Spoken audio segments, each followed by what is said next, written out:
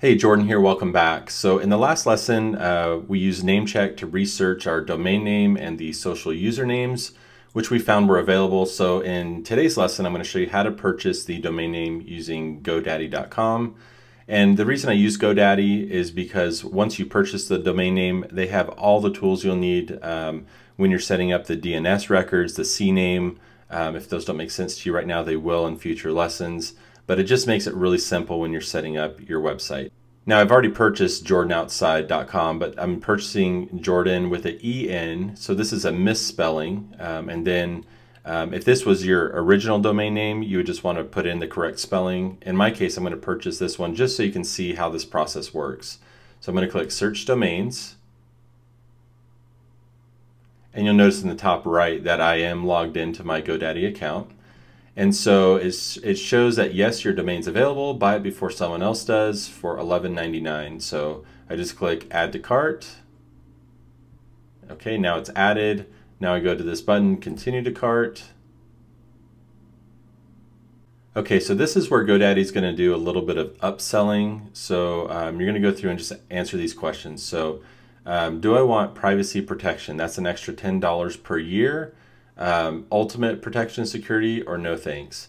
In this case, it's got my name in it. I am the person on my travel lifestyle website, so I don't need privacy protection. So I'm going to click no thanks.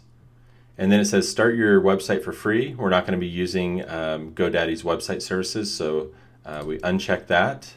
And then create an email address that matches your domain. We're not going to use GoDaddy services, uh, so we'll just leave that at no thanks. And then we'll click continue to cart. Okay, so if you don't have an account already set up with GoDaddy, you'll need to set one up. Um, in this case, it's already got uh, the credit card that I use on file. And the default is to register that domain name for five years. In this case, I'm only going to do it for one year.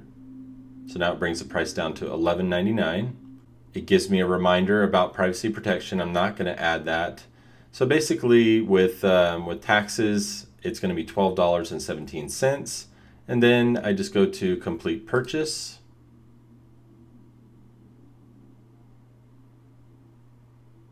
And then it uh, gives me the confirmation page. It says, thank you for your order. We've emailed the receipt to your email address.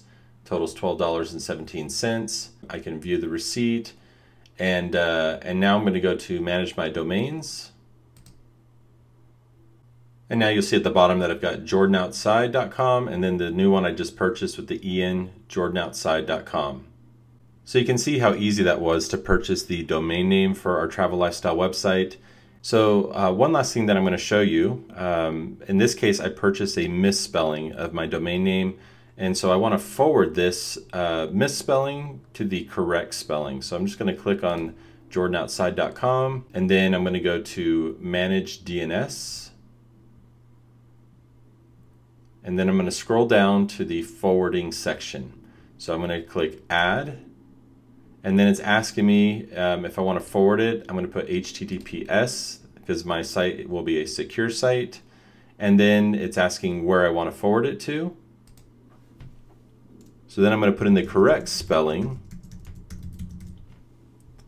So it's going to forward to jordanoutside.com. This will be permanent, forward only, and then um, the update my name servers and DNS settings to support this change. We'll click yes, and then let's click save. And then it gives me this notice, features may be unavailable while we process your updates. Some updates require confirmation. Please check your inbox for a possible confirmation email. So I'll just check that to see if there's anything I need to uh, confirm. But now when I scroll down, it shows that it's going to forward to jordanoutside.com. So if someone misspells and they put the EN instead of AN in Jordan, um, it'll go to the correct uh, domain. So um, that's the lesson on how to purchase your domain name. And then this little added bonus that if you're purchasing a misspelling of your domain name, how to forward it um, to the correct spelling of your domain name. All right, that wraps it up for purchasing your domain name for your travel lifestyle website. And in the next lesson, we're going to start setting up your business email for that website.